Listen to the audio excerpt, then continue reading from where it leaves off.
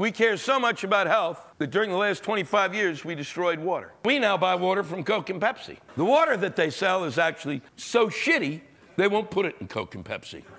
And that's not funny because it's fucking probably true. when I was a kid and water was free, nobody ever told you how much water to drink. But then they started bottling water. And as soon as they started bottling it, they said eight bottles a day. Eight!